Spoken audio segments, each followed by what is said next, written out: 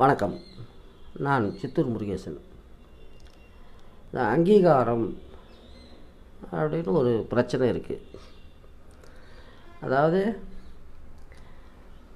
நம்முடைய திறமையையோ தியாகத்தையோ என்ன வெங்காயத்தையோ அதுக்கு வந்து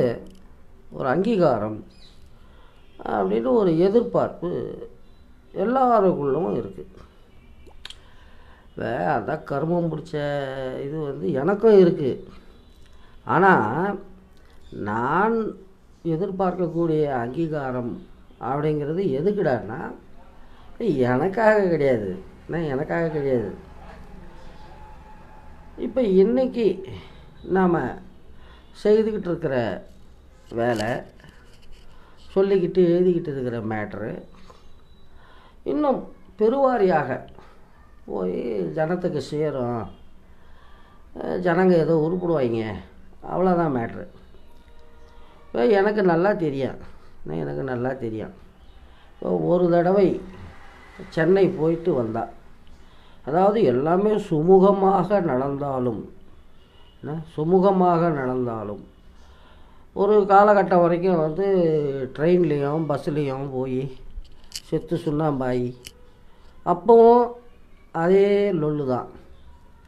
அதுக்கப்புறம் நண்பருடைய கார் அப்பவும் அந்த கருமந்தான் சரி ஏதாவது பெரிய வேலையாக போகும்போது சொந்த செலவில் காரை வச்சுக்கிட்டு போனாலும் சரி எவ்வளோ சுகமாக போனாலும் சரி ரூம் போடுவோம் முன்ன நாளே போயிடுவோம் முன்ன நாள் வந்து ஹால்ட் ஆகி நல்லா ரெஸ்ட் எடுத்துக்கிட்டு அதுக்கப்புறம் வேலையில் இறங்கினாலும் சரி கொய்யாவில் மூணு நாளைக்கு வந்து பொழப்பே ஓடாது பொழப்பே ஓடாது அந்த அளவுக்கு ஐ ஆம் ஏ சைக்கலாஜிக்கல் பீயிங் அவ்வளோதான் அதுவும் இந்த ரெண்டு மூணு நாளெல்லாம் வந்து இந்த தமிழ்நாடு பக்கம் போயிட்டு ரிட்டர்ன் வரும்போது எங்கள் ஊர் பஸ் இருக்கும் அதை வந்து செவப்பு பஸ்ஸுன்னு சொல்லுவோம் அதே பேரில் தான் ரெட் பஸ்ஸுன்னு ஒரு ஆப் கூட இருக்குது அதை பார்த்தா தான் உயிரே வரும் அந்த அளவுக்கு ஒரு பார்ட்டி நாம் டஸ்ட் அலர்ஜி இருக்குது எல்லாமே வந்து பார்டர் கேஸ் என்ன பார்டர் கேஸ் நாம் ஹெல்த் மேட்டரில் ஒரு தூக்கம் கெட்டுது சமாளிச்சிடுவேன் என்ன சமாளிச்சிடுவேன் மறுநாள் மதியம் வரைக்கும் கூட சமாளிப்பேன் அதுக்கப்புறம் காட்பாடி ஆகிடும் அதே போல் பைல்ஸ் எல்லாம் கிடையாது ஃபைல்ஸ் கிடையாது ஆனால் அதுவும் பார்டர் கேஸ் தான் யாரை இந்த வெளியூர் போய் அங்கே கண்டதையும் தின்னு வேலைக்கு தின்னாமல் இப்படி பொழப்பு நாரீரம் நம்ம பொழப்பு நாரிடும் இப்போ என் நமக்கு வந்து எந்த விதமான அங்கீகாரமும் கிடையாது என்ன அங்கீகாரமும் கிடையாது இப்போ லேட்டஸ்ட்டாக எடுத்துக்கிட்டோம்னா அந்த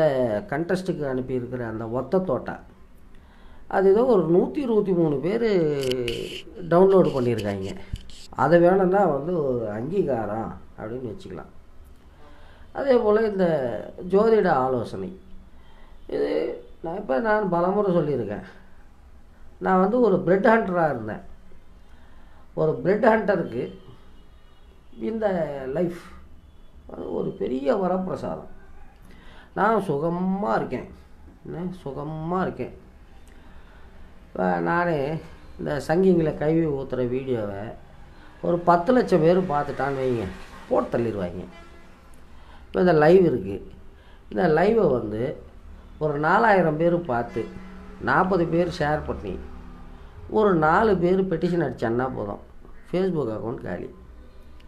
நான் சேஃபாக இருக்கேன் எனக்கு வந்து எந்த விதமான அங்கீகாரமும் தேவையில்லை அப்படி கிடைத்தால் அது நமக்கு இம்சை என்ன நமக்கு இம்சை வேலைக்கு தூங்க முடியாது தின்ன முடியாது உடம்பு கெட்டு போயிடும் மைண்டு கெட்டு போயிடும் நான் வந்து ஒன்றும் சித்த புருஷன் கிடையாது ஆனால் ஒரு லிமிட்டடு சர்க்கிள் லிமிட்டடு சர்க்கிள் அந்த சர்க்கிளில் வந்து என்னுடைய வேவ் லென்த்து வேலை செய்யும் எல்லாம் வந்து செட்ரேட் ஆகிடும் இது வந்து நான் பெருமைக்கு சொல்லலை ரொம்ப டிஸ்டர்ப்டாக இருந்து என்னுடைய ஜூரிடிக்ஷன் கீழே வரவங்க அவங்களே சொல்லியிருக்காங்க சாமி இங்கே வந்த பிறகு தான் சாமி மனசு கொஞ்சம் நிம்மதியாச்சுன்னு நாம் வந்து வெளியூர் போய் அதுவும் என்னது ஆல் இண்டியா டூர் என்ன ஆல் இண்டியா டூர் ஏழை பத்து நாள் கூட தாங்காதுன்னு நினைக்கிறேன் பாடி இதுதான் வந்து என்னுடைய இது என்னடான்னா ஆத்தா வந்து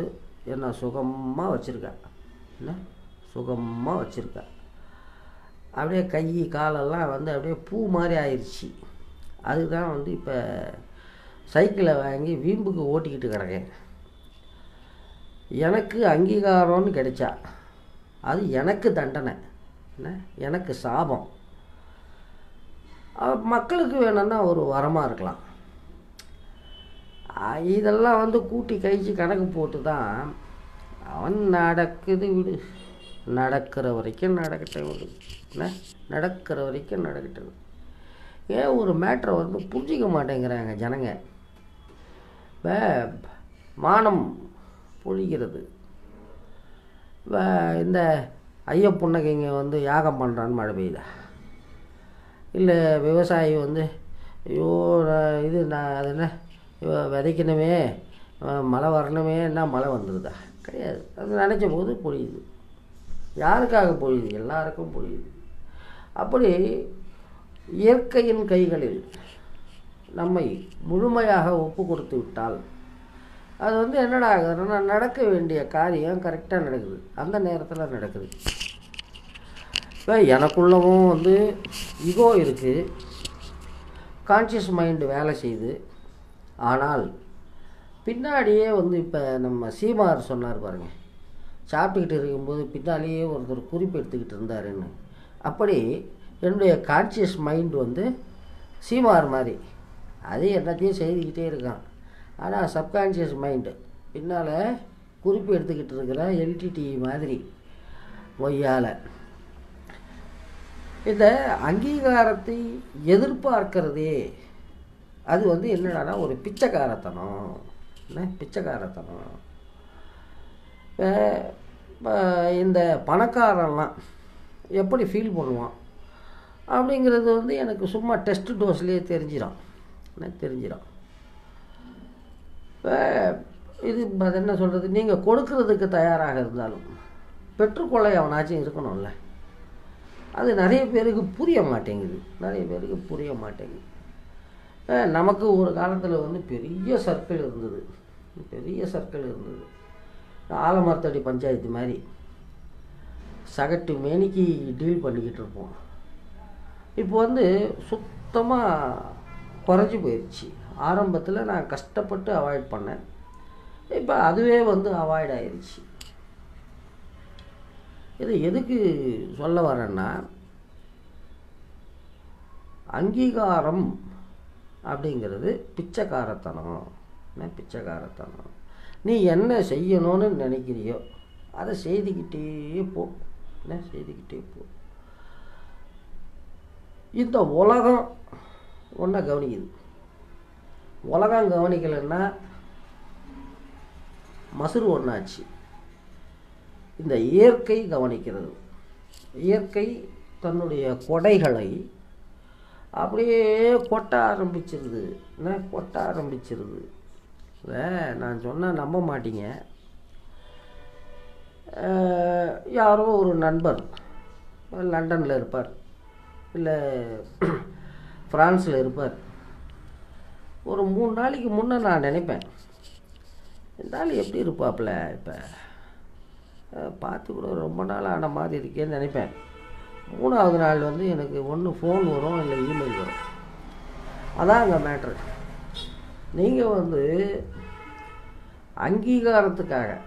என்ன இப்போ ஒரு மேட்ரு நல்லா புரிஞ்சுக்கங்க நீங்கள் ஒரு மனிதனுக்கு நன்மை செய்கிறீங்க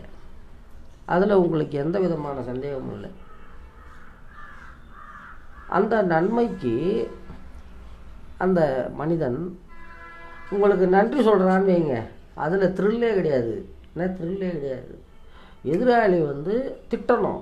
என்ன திட்டணும் என் வாழ்க்கையே நாசம் பண்ணிட்டேன் என் பொழப்பே நாரி போச்சு அப்படி திட்டணும் ஒரு பதினஞ்சு வருஷம் கழிச்சு சாமி அன்றைக்கி நீங்கள் சொன்னப்போ உங்களை கெட்ட கெட்ட வார்த்தையில் திட்டிக்கணும் சாமி இன்றைக்கி நான் நெல்லாகிறேன்னா அதுக்கு நீங்கள் தான் சாமி அப்படின்ட்டணும் எங்கள் அப்பா வந்து டிஸ்ட்ரிக்ட் ட்ரெஷரி ஆஃபீஸராக இருக்கும்போது அவர் கீழே வேலை பார்க்கக்கூடிய ஒரு ஏதோ சம் சீனியர் அசிஸ்டண்ட்டோ யூடிசியோ பார்ட்டி வந்து லாங் லீவை போட்டுற வேண்டியது சைட் பிஸ்னஸ் லாரி பிஸ்னஸ் அந்த பிஸ்னஸ் இந்த பிஸ்னஸ் பண்ண வேண்டியது வேண்டாத பழக்க வழக்கங்கள் வேண்டாத சர்க்கிள் பொழப்பு நாரி போச்சு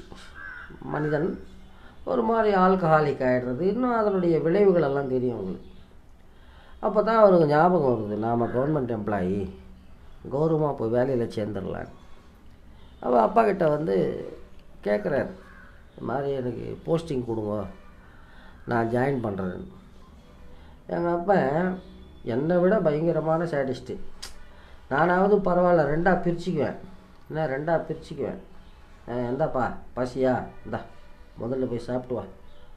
அதுக்கப்புறம் அவனுக்கு ஏதோ வேலையோ வியாபாரமோ காட்டுவான் எங்கள் அப்பா வந்து பயங்கரமான சேடிஸ்ட்டு சத்திய வீடு உங்களுக்கு வந்து கும்முடி பூண்டி பக்கத்தில் வரும்னு நினைக்கிறேன் அது நான் ஆயிரத்தி தொள்ளாயிரத்தி தொண்ணூற்றி ரெண்டில் போகும்போதே அந்த ஊரில் வந்து எனக்கு ஞாபகம் இருக்கிறதெல்லாம் ரெண்டு மேட்ரு தான் ஒன்று ஒரு பெரிய ஆலமரம் இன்னொன்று பஸ் ஸ்டாண்டு அந்த பஸ் ஸ்டாண்ட் வந்து எப்படி தான் இருக்கும்னா எங்கள் ஊரில் சின்ன பஸ் ஸ்டாண்ட் மாதிரி இருக்கும் ப்ரைவேட் பஸ் ஸ்டாண்ட் மாதிரி ஒன்றுமே கிடையாது அங்கே தொண்ணூற்றி ரெண்டில் இப்போ நான் சொல்லிக்கிட்டு இருக்கிற சம்பவம் நடக்கிறது வந்து ஒரு வேளை எழுபத்தி ரெண்டாக கூட இருக்கலாம் எங்கள் அப்பங்க சொல்கிறானா இந்த பேர் சத்தியவேடுக்கு போஸ்டிங் போடுறேன் போய் ஜாயின் பண்ணுற மாதிரி இருந்தால் பண்ணு வேறு பேச்செல்லாம் இங்கே பேசாத போயிட்டே இரு எப்படி இருக்கும் பாருங்கள் ஒரு மனுஷன் பல பற்றையாக பெரிய சர்க்கிளோட மூவ் பண்ணி கிங்கு மாதிரி இருந்த மனுஷனை கொண்டுட்டு போய் காட்டில் போடுறோன்னா எப்படி இருக்கும் யோசனை பண்ணுங்க பச்சை பச்சையாக திட்டிகிட்டு இருப்பாங்க ஆனால் நடந்தது வந்து என்னடான்னா அந்த மனிதன் போய் சத்தியவேலில் ஜாயின் பண்ணுறான் ஃபேமிலியை ஷிஃப்ட் பண்ணிக்கிறான் ஆஃபீஸ் ஆஃபீஸில் வந்து எப்படியும் ஒரு ஏழு எட்டு பேர் வேலை பார்ப்பாங்க அவங்களும் இவரை மாதிரி தான் ஆனால் அவங்க வந்து ஃபேமிலி இல்லாமல் வந்திருக்காங்க சாப்பாட்டுக்கு கஷ்டம்